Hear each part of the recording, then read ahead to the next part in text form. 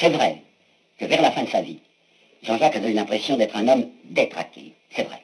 Pourquoi a-t-il été presque détraqué? Parce qu'il avait été un homme traqué. Un homme traqué parce qu'il soutenait un certain nombre d'idées qui, au XVIIIe siècle, lui valaient des haines inexpiables.